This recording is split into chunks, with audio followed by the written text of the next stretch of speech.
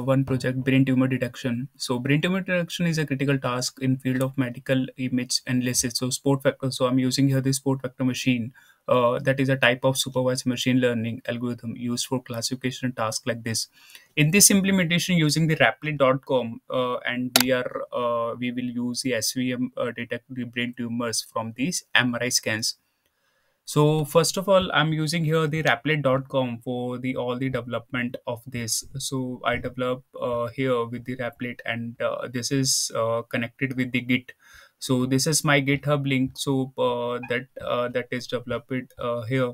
So this is my all the development. So I'm doing the version controlling with the GitHub so uh, that uh, all the files and the all the scores and the all the information that uh, we are using uh, in this github uh, uh, have containing. So i'm using some image data so that image data is related to tumors so we have the three types of tumor. So uh, glioma tumor and the uh, these tumors so uh, i trained with these tumors and also i have the one data for the non-tumor. So i'm using here only the uh, 100 files in the each tumor and the no tumor so my model will be work good. But uh, we have a limited uh, images. So i will uh, use if i will use more uh, images so my model will be work uh, good on that one. So uh, each dataset have the patient's mri scans and the uh, these all data is available. And so so what i'm doing here in this model so i'm using this data here this is a path of the data. So i'm uh, doing uh, i'm collecting this data and uh, i'm defining this data here. Then after that uh, i'm reshaping some data here. Then here i'm training my data. So i separated uh, my data into the uh, train test and the train test in the x and the y. So here on the test size is a 30% i'm taking here. And uh, pca we are using. Here first of all uh, i'm uh, viewing a data with the logistic regression then svc uh, with the svm also i'm using here. And uh, then i'm renting here. This is the all related to the uh, that next if i'm putting some image here. So how the model will be work that uh, i'm showing here. So this is uh, about this uh, python file. Then i'm going into the home.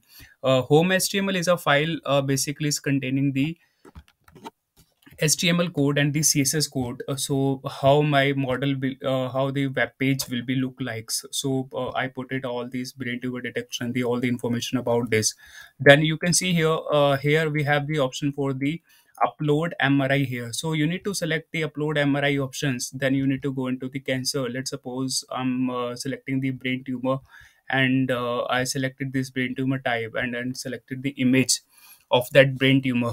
So I selected for the pituitary tumor.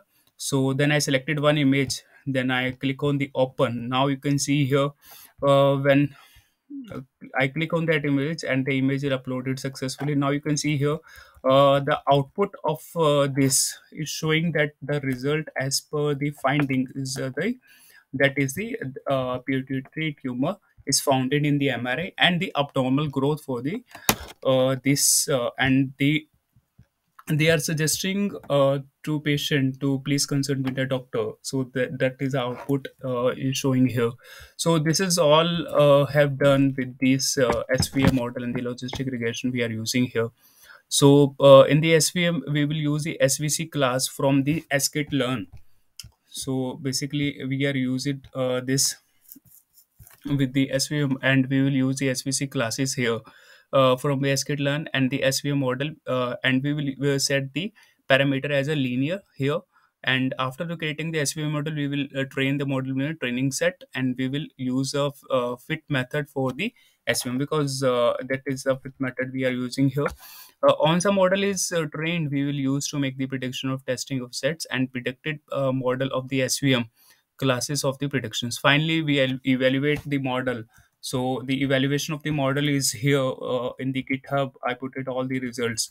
So accuracy scores of the logistic regression in the svm i compared with the training scores the logistic regression is going to uh, 100% and if i compare with the testing score is going 95.36 if i compare with this support vector machine uh, is showing the uh, less but it's 99.64 so is nearby the training score of the logistic regression and the uh, testing score is showing the 93.73 and the model score accuracy uh, for the logistic regression uh, is uh, showing with the here with the some uh, charts uh, with the bars. And this is a final output of this. So this is a final output of the brain tumor detection and uh, i put it how uh, this is doing the uh, that showing the output of the website. So this is all about the project. So this is all the files and the all the uh, uh, python files and the html files you can uh, check and you can use these files from the here. So this is all about this project. Thank you